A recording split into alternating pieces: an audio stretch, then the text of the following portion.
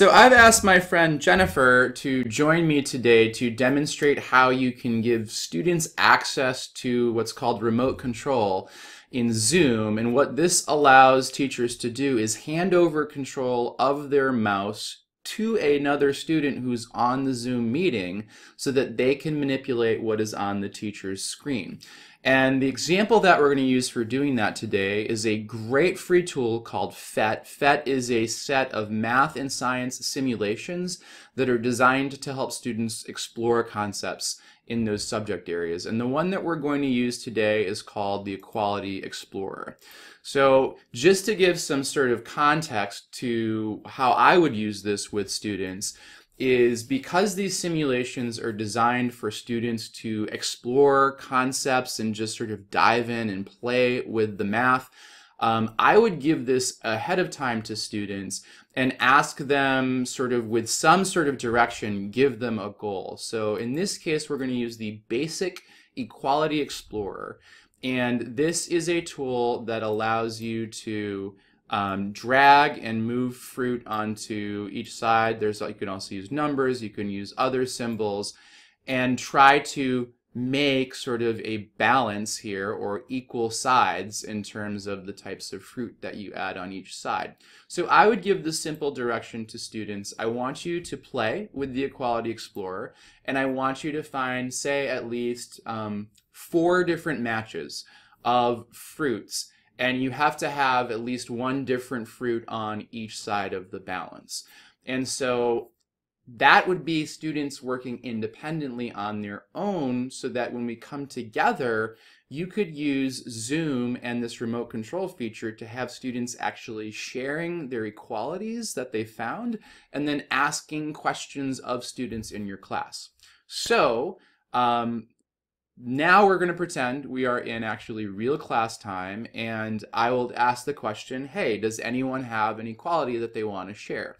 Now, assuming that Jennifer is my volunteer uh, from the class, this is your Zoom panel in Zoom meeting, and you're probably familiar with many of these tools now.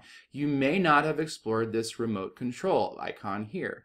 When I click on this, now Jennifer is the only person that I have on this call right now, but if you had a class, uh, you would have a list of the students that are in the call at this moment. So I am going to select Jennifer right now, and now both she and I can control my mouse.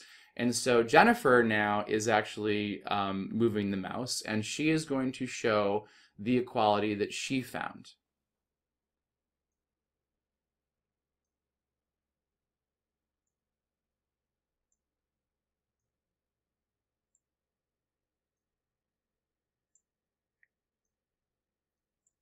Awesome. So we have an equality here where two lemons is the same in terms of weight as one apple and three oranges. So now with PhET, and I'm I have control now, I'm going to take a snapshot of that so that we have sort of the memory of, okay, we know that this is an equality within this tool. So now I would use this as an opportunity to pose questions to students. And in this case, what I'm going to say is, okay, we have two lemons. I'm going to add two lemons onto this side.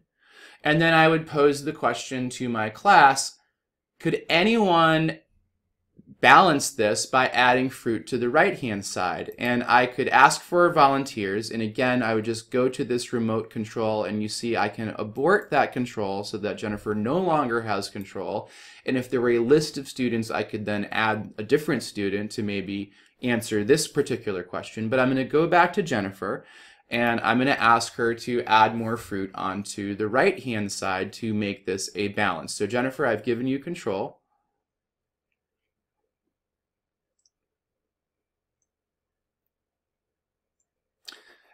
And so she has answered this in, in one way. So in this case, what she did, because I added two lemons to the left-hand side, she added two lemons to the right-hand side. And that is sort of a very important algebraic concept and a concept around equality that if you do something to one side of the equation, you need to do the same thing to the other side. So I'm going to snapshot that because that's a great way of answering that question and it is a correct way.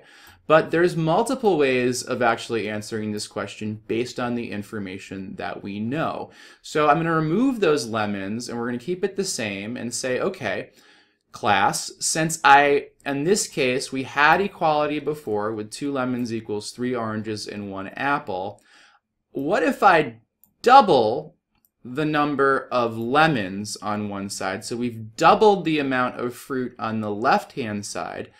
Can anyone balance this out on the right-hand side without using lemons? And again, I would ask students to volunteer. Maybe you have them on audio and they say that. Maybe you use the chat window for them to volunteer.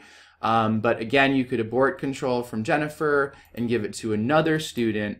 Again, she's the only person I have here for this demo, so I'm going to give control back to Jennifer, and we're going to have her uh, add fruit to balance this out.